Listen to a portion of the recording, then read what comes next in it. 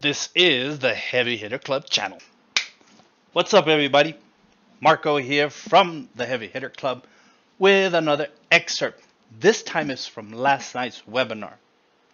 Now, we covered a lot of things last night. We covered uh, silo structure, which this is the excerpt that we're going to show. This is the clip. We also covered how to build a website in under 10 minutes. Actually, with talking and everything, I went to almost half an hour but can you imagine having a full four page website with content and images in about 10 minutes? A little bit of editing, and in that half, half hour that it took me to explain it, you can have it fully customized. How good is that? I then showed a ChatGPT prompt so that you can have ChatGPT think for you instead of you having to do all the thinking so that you can prompt ChatGPT. And so without further ado, this is what we shared last night. Questions. What's the question? Jump in there. For Yan um, Gonzalez. Yeah.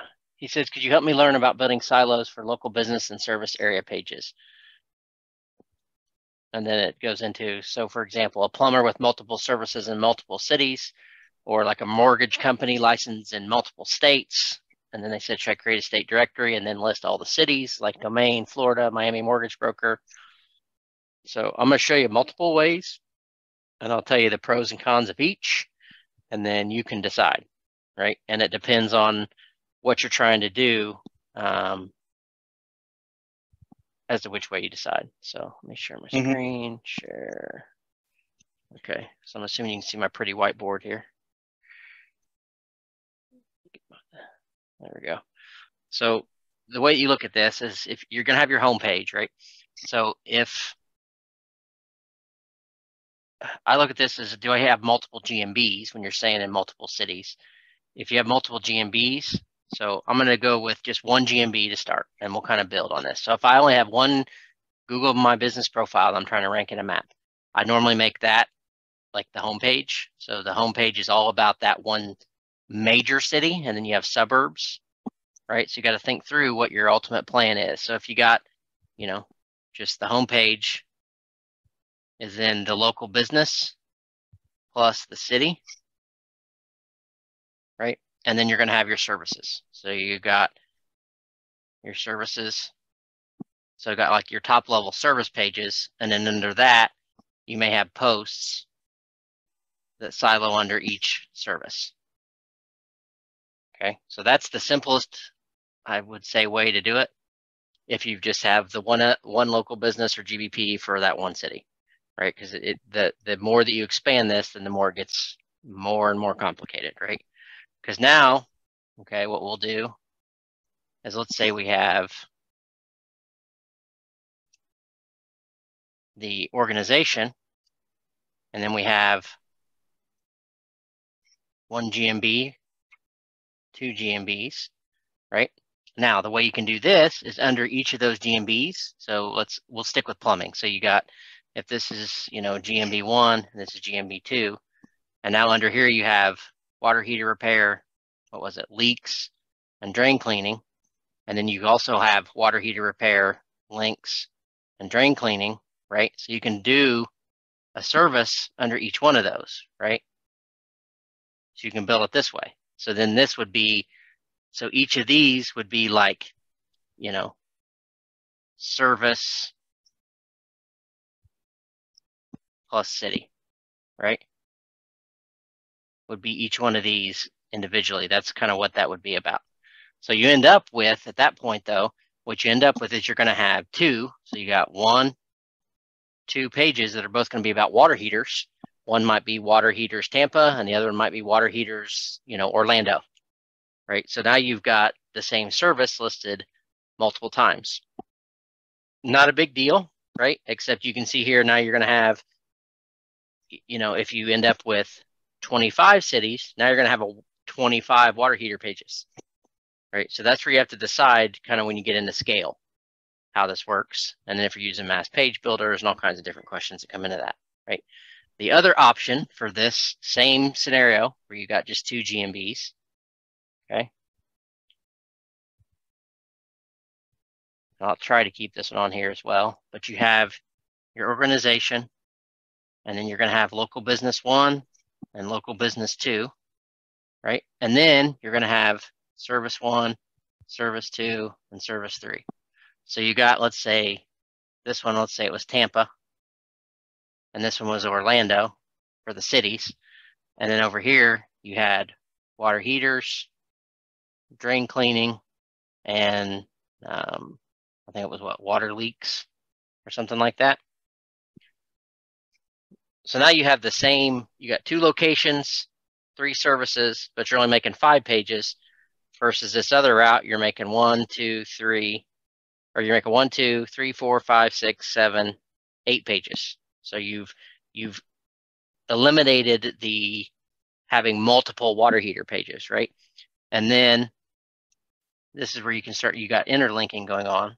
So you can say my Tampa page, right, provides this service this service, and this service. And then my Orlando page provides so you you say what your services are, right?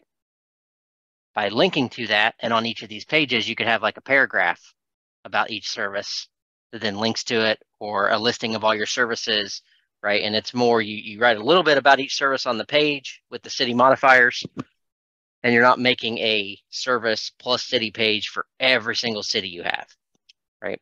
Again, it's not, it's five pages this way and eight pages this other way, right? But as soon as you add a third GMB, now you went from adding one more page to adding four more pages. Mm-hmm. So if you think about it, every time you add a GMB to this scenario, you're adding four additional pages.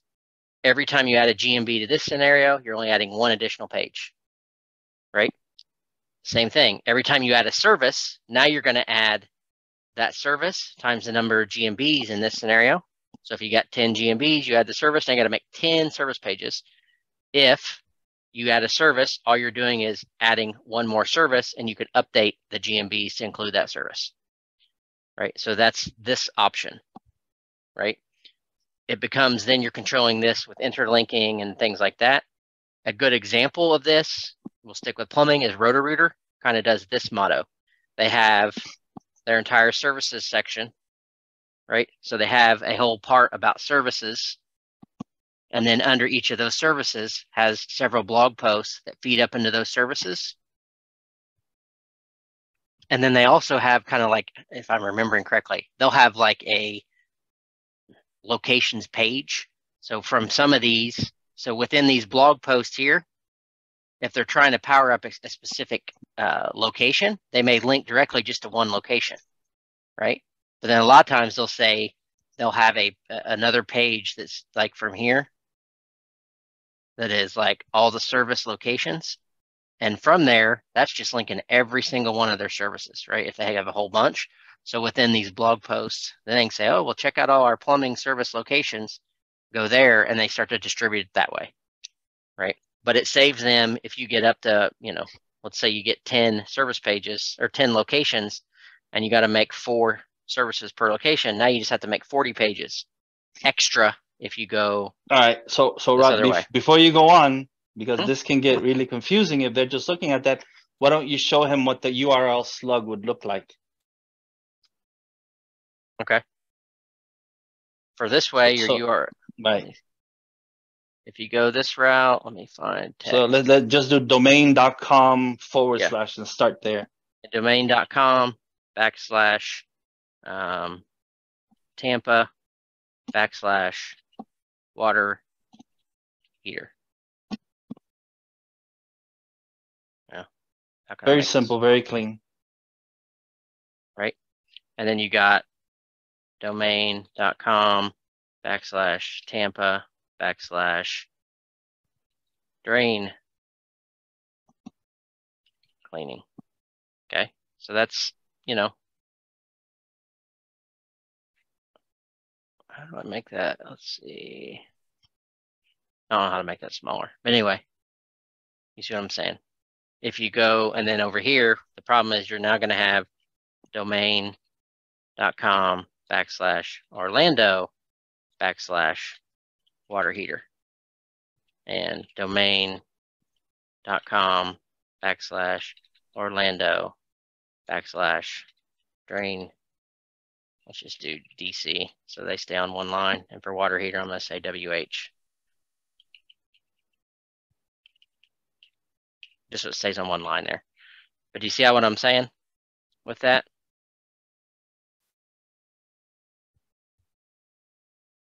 Okay, so this is clean if you only have, you know, one GMB.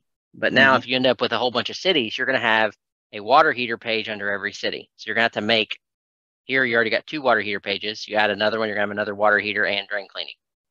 If you go this route, right, you can have domain dot, if I could spell, um, backslash, and here where you could do locations backslash Tampa, right?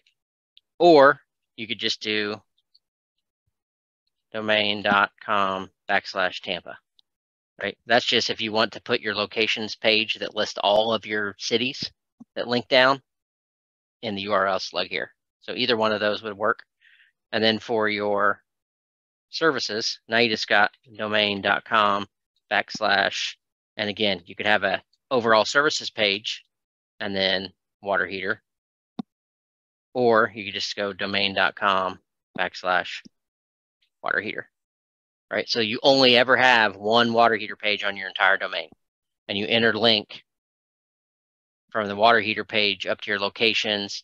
And then with each of your locations, you can put little blurbs about each of these that then jump link to the water heater pages or something like that. So those are the different ways on how to do that. Um, it's kind of one of those things. It's it's there's a thousand people have all kinds of different options on how they do this.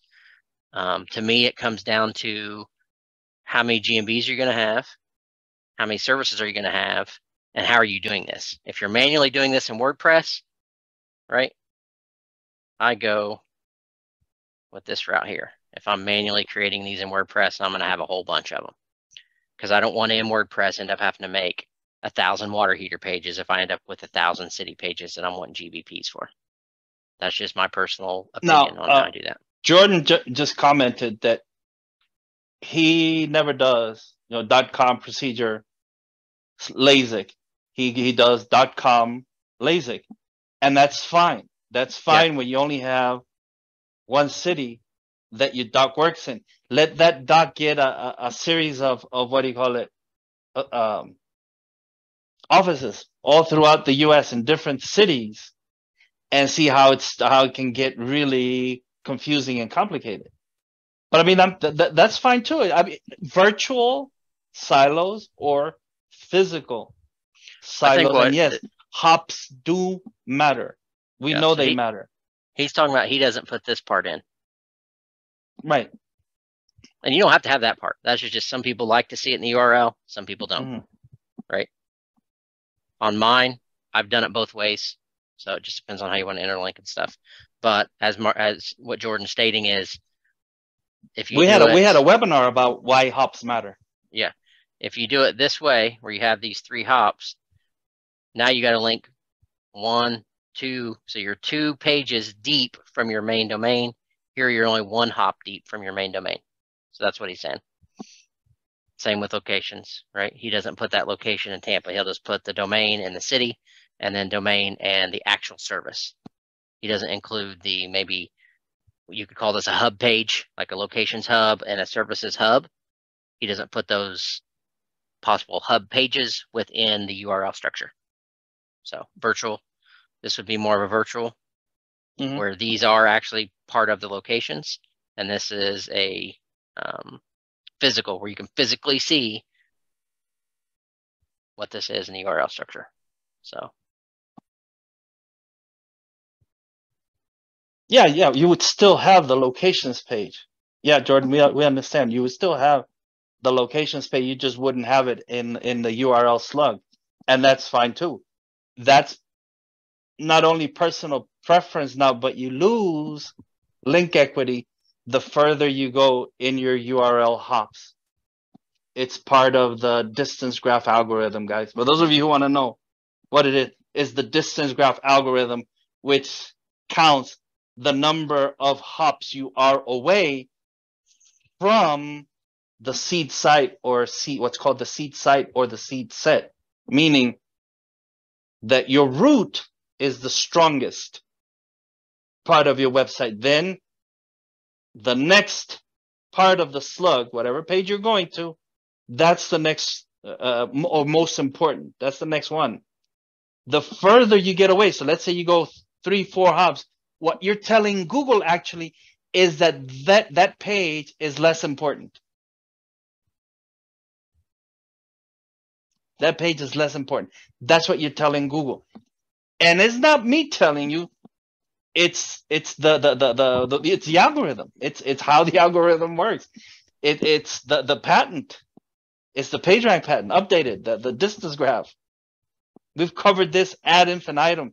You guys have access now to the old charity webinars. Andrew, you've been with us before. You know what I'm talking about. BJ, a lot of you guys know what I'm talking about. When I say the further you are away from trust and authority, and yes, in your own website, you can be far away from trusted uh, and authority. That's why you would eliminate all of these hops internally, but you can control that in WordPress, right? And, and on how you uh, build the the slug, how you build your, your URLs. And that's what we're talking about here. And there you go. That's what we shared last night, or part of what we shared. As I said, we also we also shared how to build the WordPress web, website with AI. Uh, the AI will do everything for you. All you have to do is fill in a couple of fields and press a button, and off you go. We also shared a prompt to have GPT work for you as a true assistant, as a virtual assistant, as a true virtual assistant. I know you're paying it's 20 bucks a month if you're paying in, in ChatGPT Plus. You don't have to, but I just think you bet you get better results in ChatGPT 4. I'm not endorsing it. I'm not doing anything except saying that's what I do. I I mean if, if you heard me talk in other in other videos, I actually like the OpenAI playground but not everybody has access to that. At any rate, that's what we shared. In this one, you might think, well, yeah, the, the, the URL structure is for beginners. Not all of it.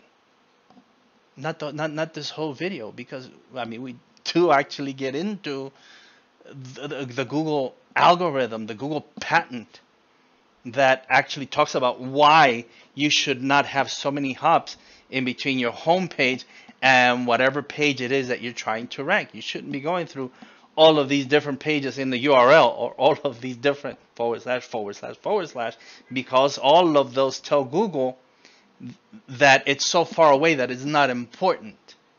That's what you're that's what you're telling Google. So these are things that you should know. If you want to see the full we went over 2 hours last night talking, answering questions, giving people actionable information. If you want access to that and the upcoming upcoming webinars, and in fact, we have DC Glenn, the brain supreme from Tag Team, next Wednesday. He's up and he's going to talk talk about Tag Team, the success of his Whoomp, there it is record, the success of of the of the Geico commercial, and what he has been doing for the past 30 years. How do you remain relevant through a 30 year career when it's one song that's driving you. If you look at it that way, well, yeah, one song. But everything that he's doing to, to buoy that, to keep it relevant, is what matters. And it's the story behind all that that matters. So please join us. You have to go to heavyhitter.club forward slash HHC forward slash B dash A dash hero forward slash and donate to the charity. Read about the charity. Watch the video. Watch the video. The video is really important because it talks about the kind of people we help, the girls that we help, the girls that are that we try to give a second chance to and make and, and help become productive members of society. It, it's it's a really important cause. And if you only donate to get access to the webinars, that, I mean, that's fine. I just fine. I don't want to know. I thank you. And whether it's a dollar or whether it's a thousand dollars, I thank you. From the bottom of my heart, I thank you. And until next time, see ya. This is the Heavy Hitter Club channel. Don't forget to like, subscribe, and ring that bell.